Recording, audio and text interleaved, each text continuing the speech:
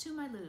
We're starting on a C chord and we'll just down strum quarter notes. One, two, three, four.